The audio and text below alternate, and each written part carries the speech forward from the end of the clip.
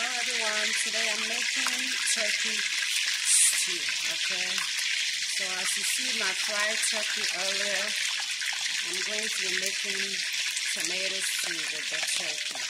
Very flavorful and very easy to make. So I begin with my oil and it has a bay leaf in there. And I'm going to add my tomatoes. And Make sure you fry your tomatoes, tomato paste in there.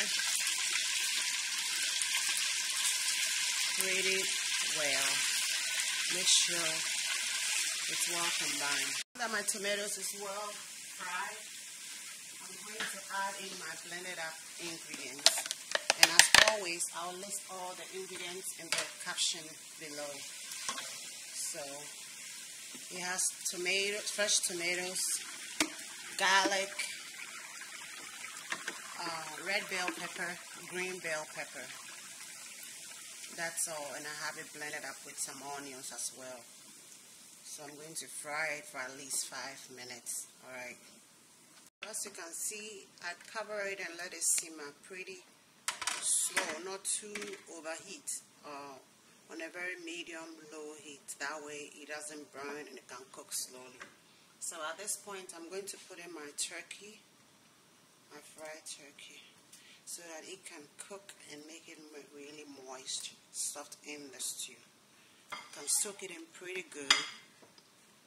So I'm going to add in my spices also. Curry powder, nutmeg, um, habanero powder pepper.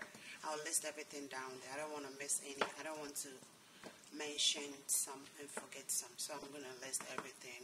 And then I added the salt also in there with my stock as well. So I'm going to cover it, let it marinate for additional five minutes. Alright. See my stew, it is looking really, really gorgeous. Uh, I just tasted it and I realized it needs extra more salt. So I'm going to add additional salt to it. This is the easiest and simple way of making your stew, okay? You can make this stew with the fish, with turkey, with chicken, with any meat, any protein of your choice. Alright, so this is what it's looking like. I'm going to let it simmer for one more minute and then it is done. Alright, until I come your way again. Until I come your way again. This is Doritos Corner. Please, if you have watched up to this point and you haven't subscribed, please do well to subscribe. That's the only way you can support a sister in a business, okay? And don't forget to like also and also share. This um, video, this special tools go to Princella Aqua, all the way from Texas. So this is a, a very big shout out to you. Thank you so much. She's always sharing my videos and always engaging. I really appreciate you. Bye.